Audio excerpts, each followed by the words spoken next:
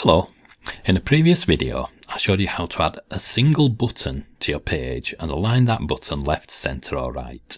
In this video, I'm going to show you some more useful button settings using the new Flexbox options in Generate Blocks. When you use the buttons container, it adds a row of buttons.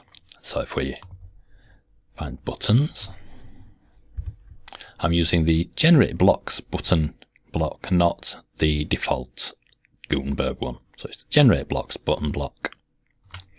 Now, that's a single button, but we can wrap that button in a button container. And then we've got this option to add more buttons. So add some buttons.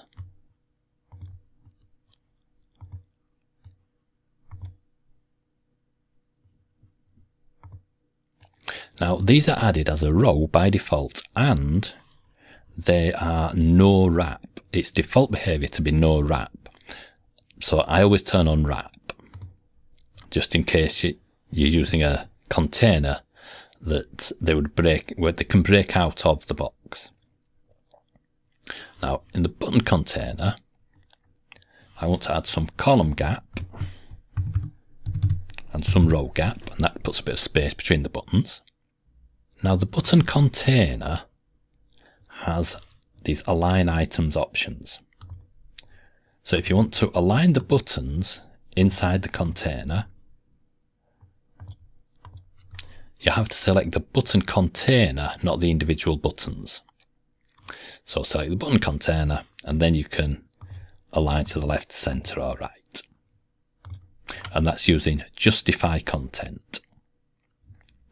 Now, if I want that to be a, a stack or a column of buttons, I just click column. Now that will fill the container that it's inside. This container is 1240 pixels wide, so the buttons are 1240 pixels wide. If I want to, I can select the button container and give that a width. So we need to go down to sizing, width, I'm going to choose 300 pixels because 300 pixel buttons will fit on most small screens, mobile phone screens. Now if I want to align the text inside the buttons, I have to select the buttons and then I can justify content and that will justify or align the text inside the button. So if I bulk select them,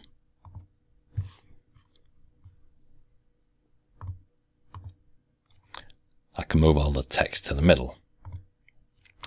If I want to align this, this, this is currently in a very wide container, but I can put that into the center by selecting the button container and then I want to go to margin right, auto, and margin left, auto, and that aligns the button container into the middle of its parent container.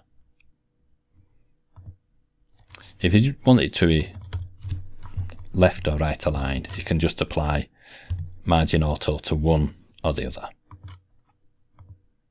I'm going to delete that button container because I want to use a three column grid. So now I want to add a grid. And this is the generate blocks grid block. And I want to use a three column grid and in this column, I'm going to put some buttons. So add block. I want the generate blocks button block. You can search for it. And I'm going to use the button container. And then I can use this plus button to add buttons.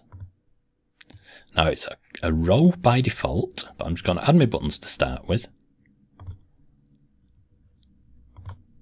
You can see that's breaking out of the box. That extra button is pushed too far. It's pushed into this next column because wrap is not default.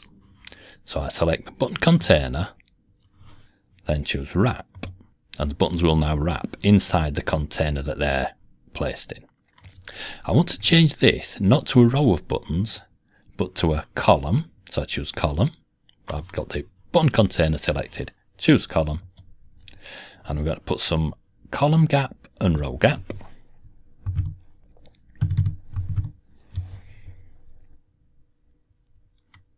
Now these buttons span the width of the container they're inside. So if it was inside this container,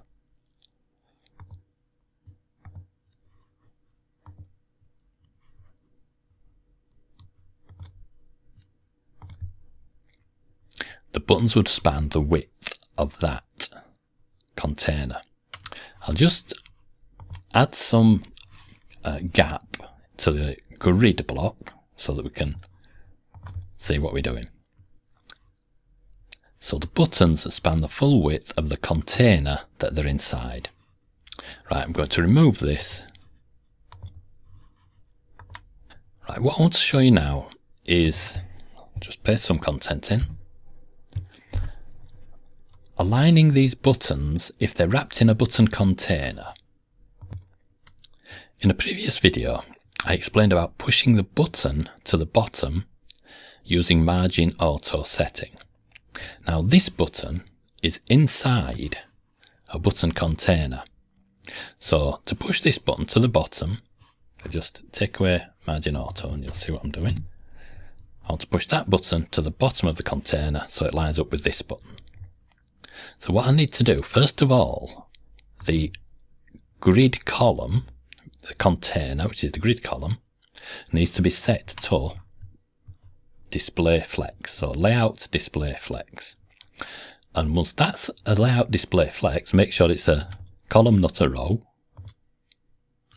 Once it's set to flex, you can then select the button container and push the button container to the bottom using margin auto.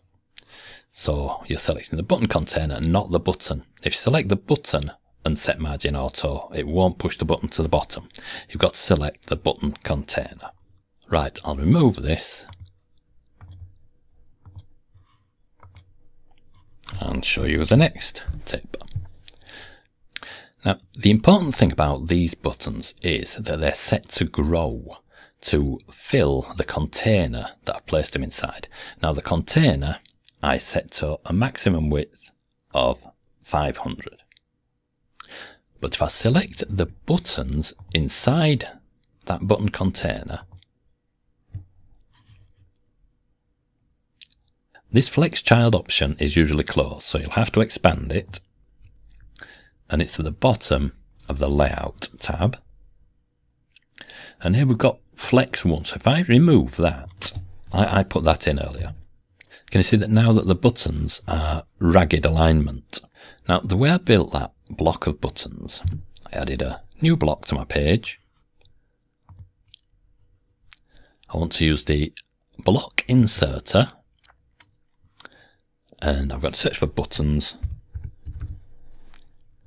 I'm using the generate blocks buttons, not the default buttons, generate blocks buttons. And that's added a, a single button. So I use the add a button container.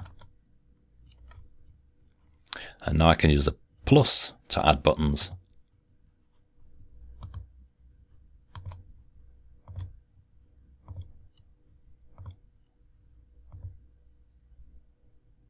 I need to set this container to wrap because it's not wrapping at the moment. I just open list view, it's easier to see. I need to select the container, the button container, select that to wrap. I'm going to set column and row gap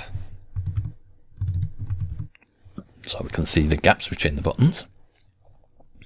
I'm now going to change the amount of text in each button. So I'll turn off the recorder while I do that. Now I've changed the text in the buttons. So now we've got different lengths. Each button is a different length or different width. So what I need to do now, I need to select the individual buttons. I'm going to select them all. And the layout tab. I want to go down to flex child, flex, and I want to change that from zero to one. And now the buttons grow to fill the box that they're inside. I'll remove that, then we can have a quick recap of what we've done in this video. First, we set a column of buttons. We set the width of this. So it was sizing width 300 for the button container. To align the button text, I selected all the buttons and then used to justify content. But I select the individual buttons, not the container. And to align that to the center, I used margin auto. So I selected the button container and in spacing, I chose margin right and left as auto. The next thing we did was placing buttons inside a grid block. So this is a generate blocks grid block. It's got three columns and we just placed a button container into any of the columns and the buttons will fill the width of the container that they're placed inside. So this is a wide column and so the buttons fill the entire column. These are narrower columns and so the buttons fill the narrower column. This is a single button inside a button container and to align that button I have to choose a button container and then I can use the uh, justify content buttons to align the button.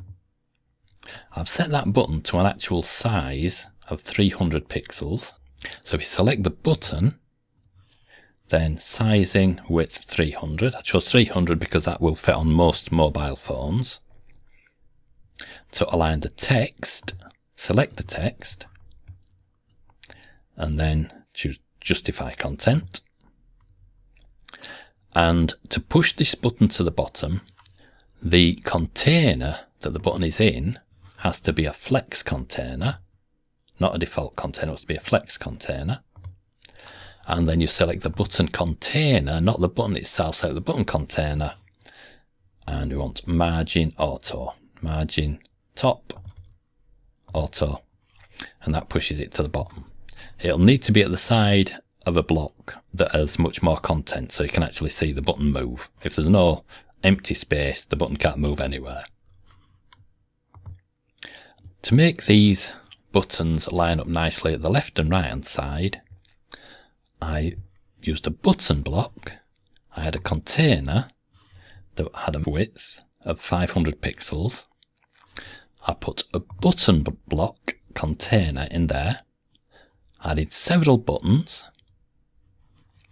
I changed the length of the button text so that buttons would be different size. And then I selected all of the buttons. You want to select the individual buttons, not the button container. And then you set it in the layout tab at the bottom. There's this flex child option. And you have to, you have to expand that usually. And I set that to grow one. If it was set to zero, they wouldn't fill the box, wouldn't expand or grow to fill the box. So if we select grow one, it will make all the buttons grow so that they fill the width of the container that they're inside. And the default behavior of the button container is row. So you can change the column, but by default, it makes rows of buttons. And don't forget, if you have several buttons in a row, you need to turn on wrap so that it, the buttons don't break out of the box because no wrap is the default setting. So turn on wrap and then the buttons will wrap to the next line if there's not enough room in the first line. And don't forget that these settings I've been showing you, these are only the settings to lay out the grids of buttons. You've got loads of settings to actually design the buttons. So these, these settings are just the, the settings for laying out grids and columns of buttons. Anyway, thanks for watching and bye for now.